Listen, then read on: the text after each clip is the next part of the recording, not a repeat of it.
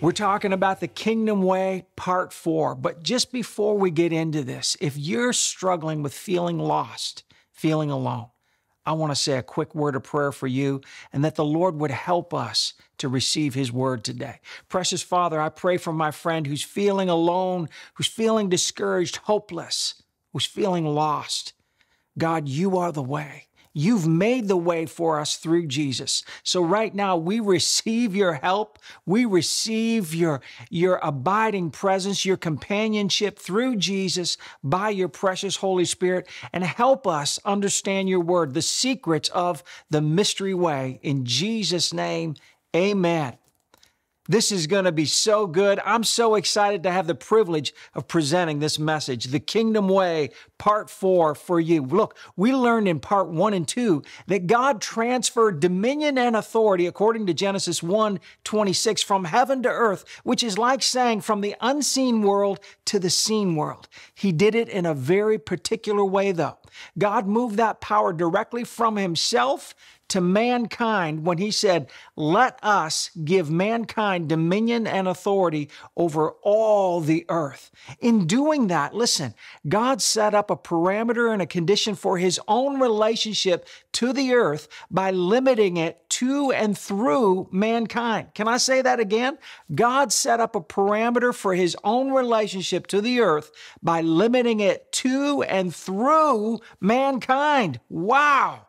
This is so important to understand as you look around at both the bad and the good things that are happening on earth because ignorance and the belief of the enemy's lies lead people to think, well, if God were just loving, if he were more loving, he'd do something about all this bad and all this evil. But understanding this biblical truth will help you to understand that God has limited his ability to interfere, to intervene on earth by his word, his honor, when he said, Let us give mankind dominion over all the earth. You see, God doesn't give and then take away. His character is straight, it's true. When God gives His word, He cannot violate that word by withdrawing or compromising it. God's character and holiness will never allow Him to lie or violate His word. God did not, He did not say, let us have dominion over the earth. No, he said, let us give mankind dominion and authority. Now, that doesn't mean that God can't act or intervene or interfere in the affairs of humanity, but he needs to do it by proxy, by partnership with a person. He needs access in agreement with a person. Isn't that amazing? That's why when Jesus taught us the Lord's Prayer, think about Matthew 6, we're told to pray this way Father, your kingdom come, your will be done here on earth as it is in heaven. Why did Jesus teach us to pray that way? Because otherwise, his will is not done on earth as it is in heaven. Even when Jesus healed and performed miracles, look at what he said about himself. This is Jesus talking about himself in Matthew 9, verse 6. He said, But in order that you may know that the Son of Man has authority on earth. Jesus came doing acts and works of God on earth as the Son of Man with authority. Think of it. Jesus, the Son of God, intervened on earth using the authority that was given to, you guessed it, mankind. This is why God had to send his Son Jesus in the flesh, all God and all man. Why didn't God save mankind from death as just God in heaven? Well, because he couldn't. He couldn't interfere on earth in the affairs of humanity without authority, which he had already given to mankind. Oh, yes. And since there was no perfect humans without sin in their DNA, God the Savior took on flesh, a body, humanity, so that he could authorize salvation, healing, redemption for you and me here on earth. God does not do anything on earth without affiliation, association with a human being, a person on earth. And this helps us understand the necessity for God's entry into the human race by Jesus, the man born of a virgin, the Christ, God on earth dwelling among us. Listen, that's, the, that's what Christmas is all about. Emmanuel, it means God with us. in the flesh. Now, when God gave mankind dominion, God made Adam and Eve kings, royalty. They were called to rule, to reign, have supreme authority over everything, not each other, over everything. Remember this Adam and Eve fell from dominion, not from heaven, they fell from dominion. How can you be redeemed? We need to be redeemed. We need to get the stuff back. There was a three year old boy, and he was asked, Son, where do you come from? Do you know where you came from? He thought for a moment, Walmart? See, parents, in all seriousness, if we don't teach our children, teach your children the eternal truth of where they came from, the absence of absolutes will make them vulnerable to this cultural war on their identity, their purpose in life. They'll be confused about it. Their confidence, their self worth will be stolen from them. Dare to believe the truth of God's word. So, Adam and Eve, back to them, they fell from their identity of royal dominion, the kingdom. They bowed a knee to a deceiver, the devil, and they committed high treason. And guess what they lost? They lost dominion and authority, but they lost their identity. They gave their dominion away. Why do we have so many young people right now rioting and screaming in the streets for their rights, for their way, my way? Because they're ignorant of their true identity and God's ultimate great plan for authority in His kingdom. God's way, the kingdom way. When you're drowning, guess what you do? You panic, you scream, you even act crazy, you flail. Colossians 1, verse 13, listen to this. The Father has delivered and drawn us to Himself out of the control and the dominion, there's that word, of darkness, the dominion of darkness, and has transferred us where? Into the King's dominion, the kingdom of the Son of His love. Talk about being saved from drowning, right? You see, there are consequences to giving away what God gives you. Adam gave away the farm, dominion over the earth. Then Satan set up his kingdom of darkness. It's a counterfeit where he gets to pull the strings, launch wars, diseases, famine, yes, even inflation. I've said it over and over. Life does not tolerate a vacuum. For example, Take God and His absolutes of truth out of the education system, and the next thing you know, you've got insanity, not education. The devil knew Jesus was on earth to get humanity back God's gift of dominion. He doesn't want to ever lose control. He's the villain in the movie about an ancient dark kingdom with an emperor who enslaves mankind. He wants to crash the system so that he can relaunch with his goons in absolute control. It's the same old good versus evil. It's 1930s Hitler in Germany. It's an evil substitute for the true way. Look, the elite globalists want their way just like Hitler wanted his way. Just like 2,000 years ago, the devil made a play for his way right to Jesus' face. Look at this in Matthew 4, verses 8 through 10. Again, the devil took Jesus up on an exceedingly high mountain and showed him all the kingdoms of the world and their glory. And he said to Jesus, You know what? All these things I will give you if you will fall down and worship me. Can you imagine that? Then Jesus said to the devil, Away with you, Satan, for it is written, You shall worship the Lord your God, and him only you shall serve. This is why your words, your prayers, your worship are so vitally important. Yes, vitally important. The enemy can't stand against your faith in God. And this is how you release faith. Jesus instructs us to pray in Matthew 6 because it gives God permission to interfere, to intervene in the earth, to overpower darkness with light earth is still under the original lease to mankind. And God needs you, my friend, to pray his will on earth, to get heavenly results here on earth. You get to authorize it. James chapter 5 verse 16 listen to this. The earnest heartfelt continued prayer of a righteous man makes tremendous power available dynamic in its working. And that means a righteous woman. The, I can say it this way. The earnest heartfelt continued prayer of a righteous woman makes tremendous power available dynamic in its working. Why? Because you're so holy? No no no no Because Jesus is so holy. He's so righteous. And we get to pray in his name. God said this in Ezekiel chapter 22 that he was looking for a human to stand in the gap to intercede for people so that he could save them, but he couldn't find anyone willing. That was back in Ezekiel chapter 22. God says a similar thing in Second Chronicles 16 verse 9. God does nothing on earth without child of mankind being involved. Why? Because he has given us, mankind, dominion and authority.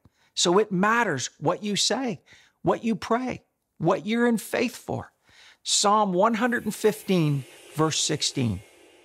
The heavens are the Lord's heavens, but the earth has he given to the children of men. We know the heavens and the earth belong to God, but we can see here that God has truly given us a lease. It's for a time, but a lease of time to exercise authority here on earth. This is why Jesus taught us to pray. Father, pray this way, guys. Father, your kingdom come, your will be done here on earth as it is in heaven. Because otherwise, God's will is not done here on earth as it is in heaven.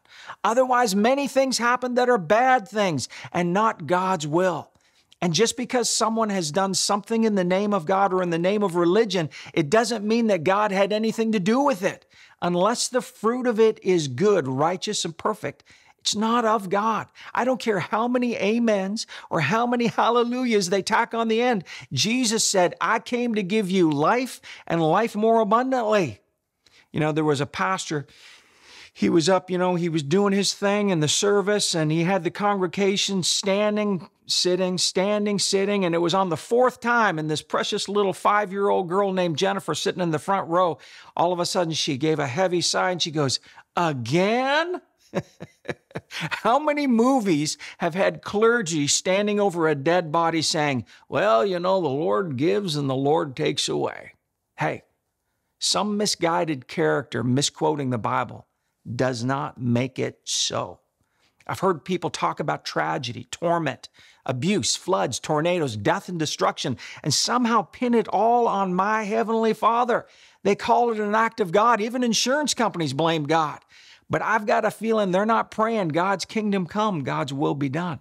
You see, that's character assassination. When someone blames you for something bad that you didn't do, that's slander. That's character assassination. That's misrepresentation, a blatant lie. Have you ever had people misrepresent you, slander your name? It's not a good thing, it's evil. Jesus said the devil has come to steal, kill, and destroy. That's his MO. But we blame God and take no responsibility for the ugliness and the pain. Like we're these sweet little saints, like we're, we're, we're innocent. The ignorant misuse and neglect of authority is not a case for innocence. Humanity is guilty. Romans 3 says we've all sinned. Don't get into condemnation now because Jesus didn't come to condemn us, but that we could be free. But we can't be free until we take responsibility for what we need an antidote for, right? The antidote for our sin problem must be accepted and applied. Let me show you how God's kingdom way truly makes his benefits a reality. Pam and I, we had the privilege of hearing this amazing true life story from this very wealthy man, a very successful businessman one day. This was back when we were living in Nashville, and he was a self proclaimed atheist. And he, he actually called himself a self made man with all of his millions. Well, one day he got bone cancer and the doctor said it was very advanced and it was very fast moving. And he spent all of his wealth traveling around to every specialist and every and any kind of doctor he could find to get better. And he wasn't getting better.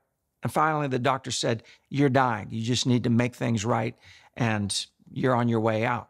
Well, he was sitting almost penniless, just a few bucks in his pocket, in a cheap hotel in New York City. He'd already exhausted his last resource with his last attempt. And finally, in desperation, sitting on his cheap little hotel bed, he was like, I got to call on God. And he didn't know how to do it. And he thought, well, maybe there's a, a Bible in the nightstand. And sure enough, he opened it up. There was a Gideon's Bible. And he was like, God, if you're real, I need to hear from you. I need some direction. So he did one of those random things, which I don't recommend, but he just kind of opened up the Bible randomly, say, and then closed his eyes and put his finger down. And guess where his finger landed? Proverbs 3, starting at verse 5. He heard, Trust in the Lord with all your heart. Lean not on your own understanding. See, that's all he'd ever done. Lean on his own understanding. In all your ways, acknowledge God, and he will direct your paths. Do not be wise in your own eyes. Oh, he was getting a little convicted on that one. Then it said, Fear the Lord and depart from evil. Verse 8, it will be health to your flesh. And listen to this, and strength to your bones. He stopped for a moment. He's like, God, this is exactly what I need. I need strength for my bones. I'm dying of this disease and I need a healing and strength in my bones. And he lifted his eyes again and he put his finger back where he'd left off and he started at verse 9. and said, Honor the Lord with your possessions and with the first fruits of all your increase. Guess what he did? He was like, God, I've got like maybe $68 in my pocket. What, what do I do? And he felt like this unction just to go downstairs and he looked out on the street and there was a Salvation Army across the street. He ran across the street to the Salvation Army, donated all of his 68 bucks. That was the end of his worth. That was the end of his financial wealth right there. That's $68. He donated it to the Salvation Army. And he told us after that, in the next year, God began directing every step, leading him every way. And suddenly he was cured of cancer. Suddenly he found himself on a path of recovery to his health. Suddenly, he began having new business deals, and within a year and a half, 18 months, all of his fortune was restored financially.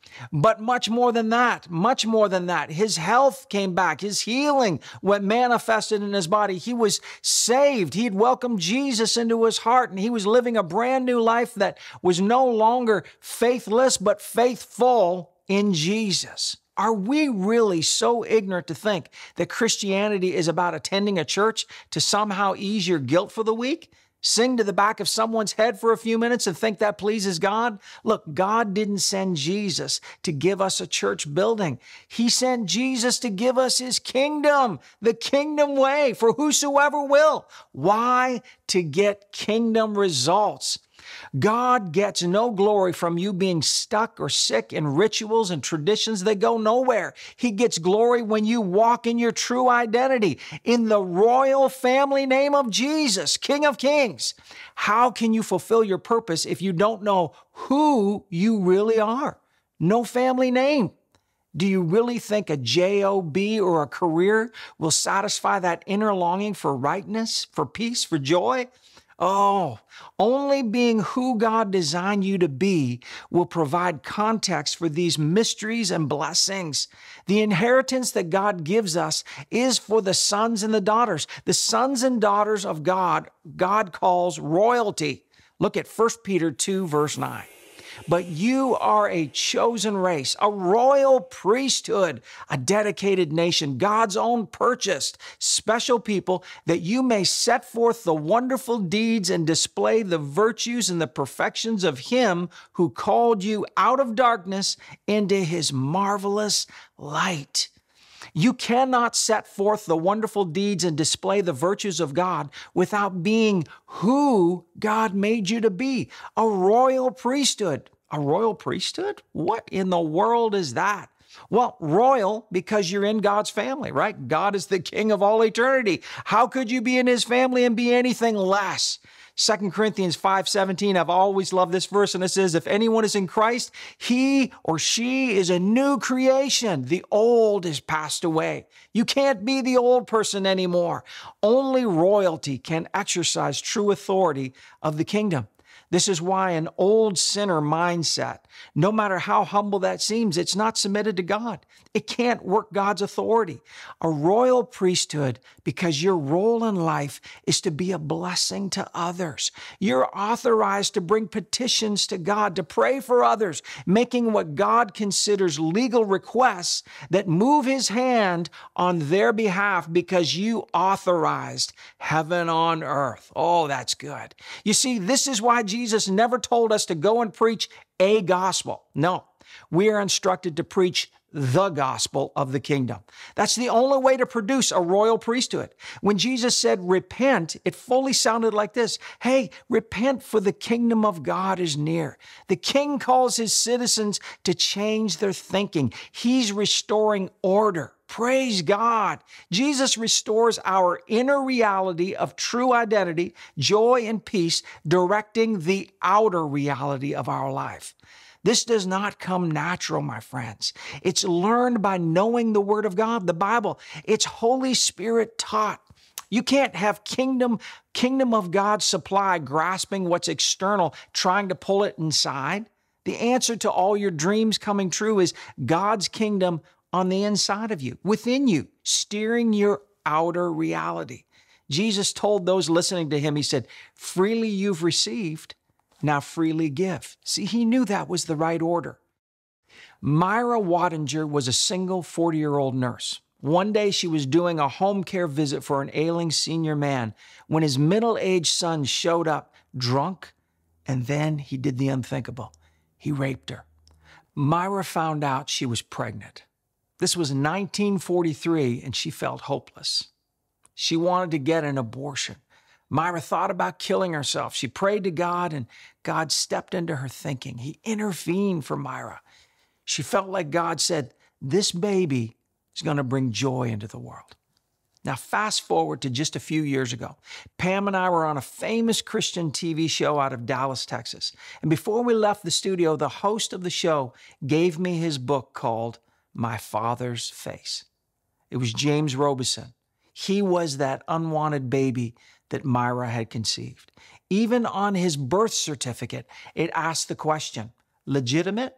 And she wrote, no. But God, but God rewrote James' birth certificate with a big yes. This is my son in Christ Jesus. Legitimate. Yeah. Give him the family name.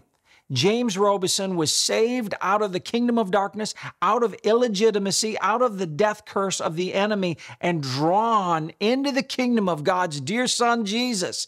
He not only got saved from darkness, but he got saved for the light from being a baby destined for abortion, God ransomed James' life, and James globally sets forth the wonderful deeds, the works of God, the virtues of God, and the perfections of God for everyone to see being a royal priesthood. That's what I call that.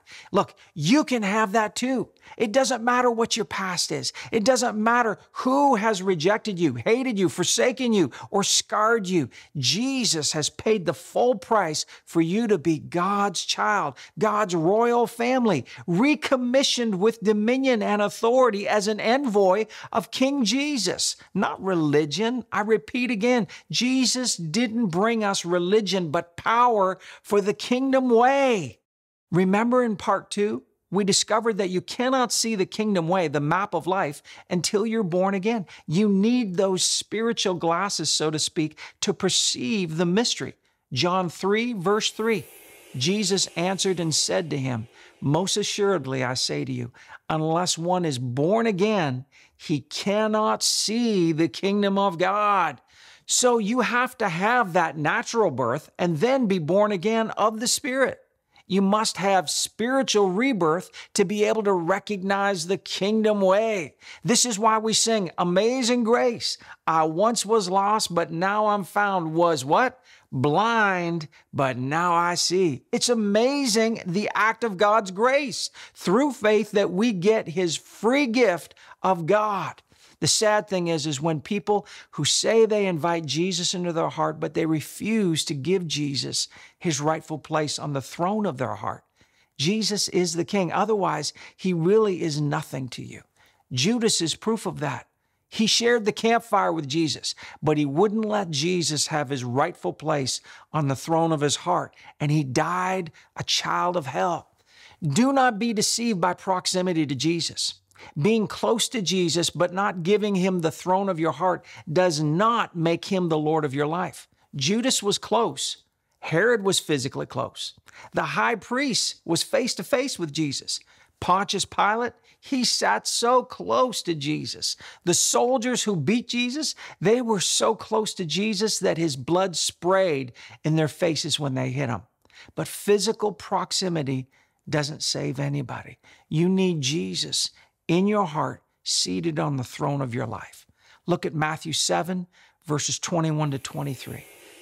Not everyone who says to me, Lord, Lord, will enter the kingdom of heaven, but he who does the will of my Father who is in heaven. Many will say to me on that day, Lord, Lord, have we not prophesied in your name and driven out demons in your name and done many mighty works in your name? And then I will say to them openly, publicly, I never knew you. Depart from me, you who act wickedly, disregarding my commands. Look, doing Jesus' things and working his name is not, I repeat, not the same thing as having him reigning over your heart. It's not the same thing as you living in his kingdom. Jesus the King redeems us from the inside out, not from the outside in. What do I mean? Have you ever watched one of those fixer upper shows, you know, where they do the renovations? They take a broken down, unlivable house and they save it. They heal it. They renovate it from the inside out. They take away the rot, the asbestos, the termite damage, the sin, if you will. And then they make the house new again, this worthless, forsaken house into a blessed, beautiful home. Does it affect the outside? Absolutely. But the house is restored from the invisible to the visible, from the plan to the reality, from the dream to the tangible outcome. God has already dreamed your glorious outcome, but He needs you to agree to the plan, His kingdom way. You get to choose. Judas, he let Jesus in on the front lawn, but he never let Jesus in in his heart. He had wrought asbestos in his heart, but he wouldn't give Jesus permission to renovate his heart. Therefore, Jesus said this I never knew him. Judas was damned. Judas chose the termites and the rot over Jesus being the Lord of his life. Peter, on the other hand, he also proved that he had some rot. He had some stupid asbestos thinking, didn't he? But he welcomed Jesus to be the renovator, the savior of his life. Peter welcomed Jesus on the inside of him. The kingdom moves from the inside to the outside, from the throne of the king throughout his kingdom. It's ignorant and futile to expect the renovation, the benefits, the provision, the protection, the promises of the king while refusing his way, the kingdom way. You can't have the renovation benefits of the kingdom while at the exact same time refusing Jesus' kingdom. Like I said in a previous part of the series, you can't order a Whopper in a McDonald's. You're in the wrong kingdom. You're speaking the wrong language. Luke 17, verse 21, Jesus said this Nor will people say, Look, here it is, or see, it is there. For behold, the kingdom of God is where? Within you, in your hearts, and among you, surrounding you. The heavens and the earth are the Lord's. He owns it all. Yet, He wants the realm of your heart today. Today, the King wants to come into your heart, save you, and give you His kingdom way, His glorious way. How do I get that? Just pray this prayer with me. Dear Lord Jesus, I need all that you have for me. You are the way. Your kingdom come in my life. Forgive me of all my sins. You died on the cross for me, rose up from the grave now take the throne of my heart. Be the Lord of all my choices, all my decisions. Give me every kingdom benefit. In your name, Jesus. Amen.